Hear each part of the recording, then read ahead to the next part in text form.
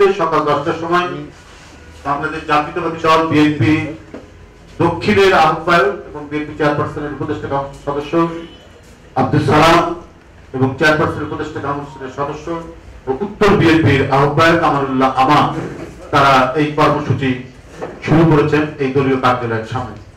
এইভাবে দেশের বিভিন্ন অঞ্চলে তারা এই কর্মসূচি বাস্তবায়ন করার জন্য প্রচারপত্র বিলি করেছেন।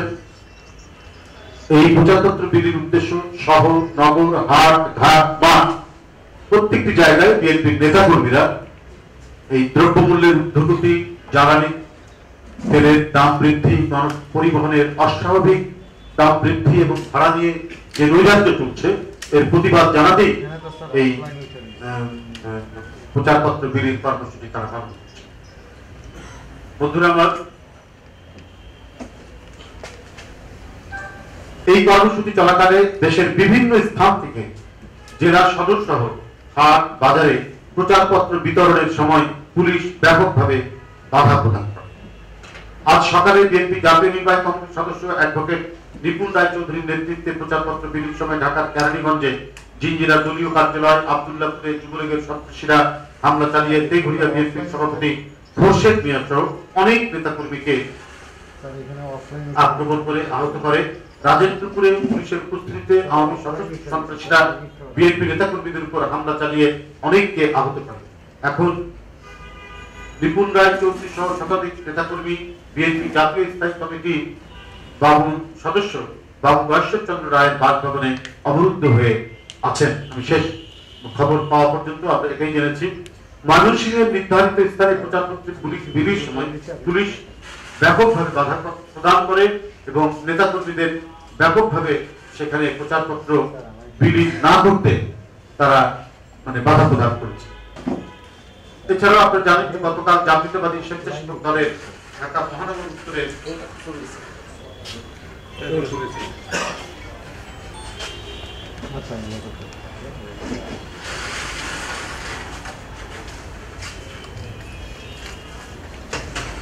গতকাল জাতীয়তাবাদী স্বেচ্ছাসেবক দল ঢাকা মহানগর উত্তর শাখার সিনিয়র যুগ্ম সম্পাদক আজিজুর রহমান মুসাফিরকে আইন শৃঙ্খলা পরিচয়ে সাদা কর্তৃক কায়দায় তুলে নিয়ে হয়, যা এক এক ভয়ানক দুঃশাসনের নমুনা। বন্ধুরা দেশের চাল ডাল, তুল, নুন, তেল, পেঁয়াজ সহ নিত্য প্রয়োজনীয় সবকিছুর মূল্য জনগণের প্রায় ক্ষমতার বাইরে। নিত্য প্রয়োজনীয় জিনিসের দাম অস্বাভাবিক বৃদ্ধি এবং গণপরিবহনে ভাড়া বৃদ্ধিতে জনজীবনে নাভিশ্বাস উঠেছে। আর কোটি কোটি টাকা খরচ করে বিদেশ গিয়ে শেখ হাসিনা কথিত উন্নয়নের গল্প শোনাচ্ছেন আপনি দেশে ফিরে ফিরে এসে আবারও আইন শৃঙ্খলা বাহিনীর উপর নির্ভর করে জনগণের মতামতকে তোয়াক্কা না করে নির্মম দুঃশাসন শুরু করেছে। ইতিমধ্যে তুলে নিয়ে যাওয়া হয়েছে স্বেচ্ছাসেবক দল নেতা মুসাফিরকে এবং বিএনপি অনেক নেতার বাড়িতে কালকে পুলিশ গিয়ে হুমকি ধামকি দিয়েছে। অনেক নেতার বাড়িতে। গণতন্ত্রকে সমাধিস্থ করে সকল নাগরিক স্বাধীনতাকে সমূলে উৎপাদন করে আদিম বর্বর শাসনের এক নির্মম ও ভয়ানক দৃষ্টান্ত স্থাপন করেছেন শেখ হাসিনা। দুর্নীতি আর লুটপাটের এত বিভৎস বহিঃপ্রকাশ বিশ্বের আর কোথাও দেখা যায়নি। বেপরোয়া গতিতে হরিলুট ও দুর্নীতি করার জন্যই ভোটারদেরকে বন্দি করে জবরদস্তিমূলক ভাবে ক্ষমতায় থাকতে চাচ্ছে আওয়ামী লুটেরা সরকার। দ্রব্যমূল্যের ঊর্ধ্বগতি, তেল, গ্যাসের মূল্য বৃদ্ধির মাধ্যমে বড় পরিবহনে ভাড়া বৃদ্ধি জনজীবনকে লণ্ডভণ্ড করে দিয়েছে গতকাল সড়ক ও সেতু মন্ত্রী ওবায়দুল কাদের বলেছেন, আওয়ামী লীগ নয়, দেউলিয়া, বিএনপি দেউলিয়া হয়ে তারা এখন সর্বহারাতে রূপ নিতে যাচ্ছে। ওবায়দুল কাদেরের বক্তব্য সবসময় অন্তঃসার শূন্য শূন্য কুম্ভের মতো। মানে আপনার কথা আছে না যে খালি কলসি, বাজে বেশি?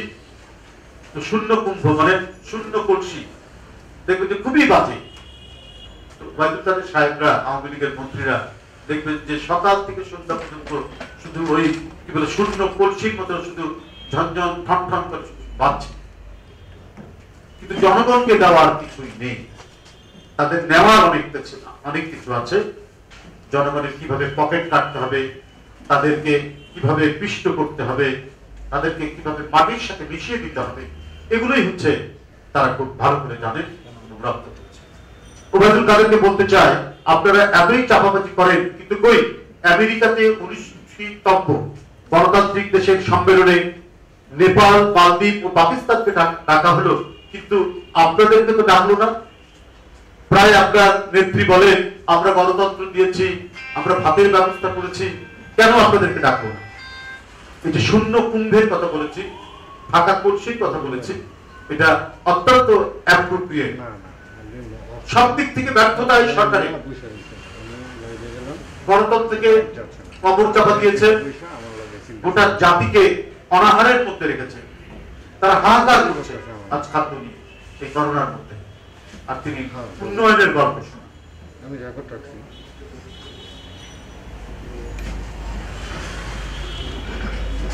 মার্কিন যুক্তরাষ্ট্রের মূল্যায়নে এবার লাল তালিকায় রেকর্ড হয়েছে বাংলাদেশ।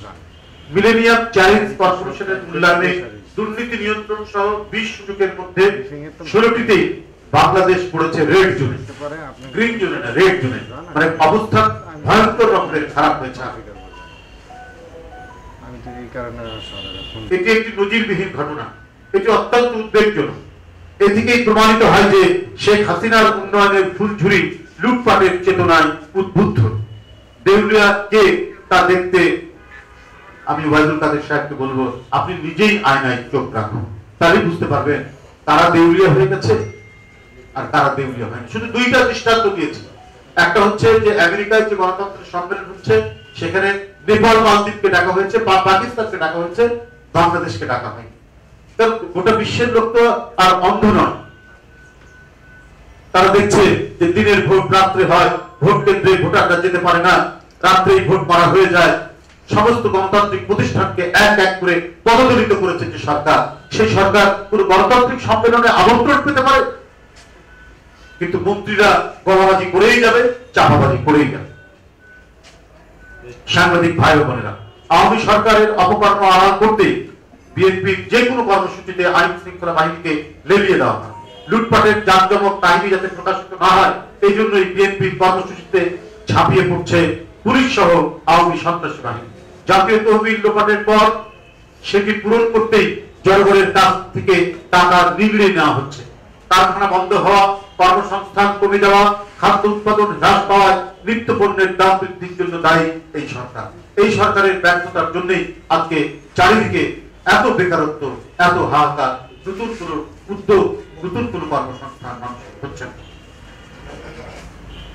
আওয়ামী সহিংসতার দুষ্ট চক্রে আইনের শাসন, ন্যায় বিচার, মানুষের মানবিক মর্যাদা তথা গণতান্ত্রিক অধিকার এখন ধুলোয় লুটুপুটি করছে।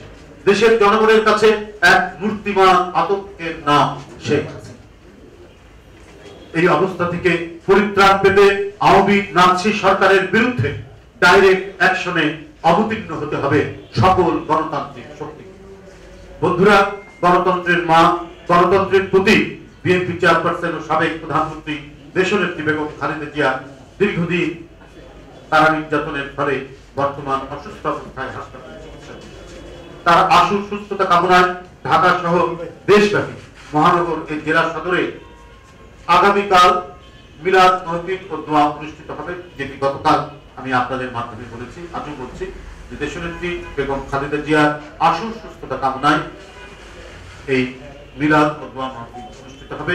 এটা ঢাকা সহ সারা দেশে, জেলা সদরে এই কর্মসূচি পালন ঢাকায় নবপল্টনস্থ বিএনপির কেন্দ্রীয় কার্যালয়ে আগামীকাল সকাল সাড়ে দশটায় দেশনেত্রীর সুস্থতা কামনায় মিলাদ মাহফিল ও দোয়া অনুষ্ঠিত হবে। বিএনপি এবং এর অঙ্গ সহযোগী সংগঠন সমূহের সকল পর্যায়ের নেতাকর্মীকে রাজধানী সহ দেশব্যাপী মিলাদ মাহফিল দোয়া অনুষ্ঠানে শরীর হওয়ার অনুরোধ করা ধন্যবাদ সবাইকে। আল্লাহ একটা একটা আপনি তো ওই বললেনই যে আগামীকাল দোয়া হবে। ম্যাডামের সুস্থতা এখন ম্যাডামের কি অবস্থা? আসলে একটু জানতে না, আমরা চিকিৎসা চলছে চিকিৎসা আমরা চলছে। আমরা আম, চিকিৎসকরা তার চিকিৎসা করছে। আমরা একটা দলীয় কর্মসূচি আগামীকাল আমরা তার মানে এখনও কি ম্যাডাম সিসি চিকিৎসকরা ব্রিফ করবে এটা। এইটা তার যে চিকিৎসকরা রয়েছে তার যারা আছে তার প্রতিনিধি আপনার বলছে। তারা বাদ ডিটেলস দেয় টেকনিক্যাল বিষয় মেডিকেল ডাক্তাররাই বলবেন আমি সব জানি না আমাদের কর্মসূচিটা করা হয়েছে দলীয় কর্মসূচি দলীয় সিদ্ধান্ত সেটা। ধন্যবাদ।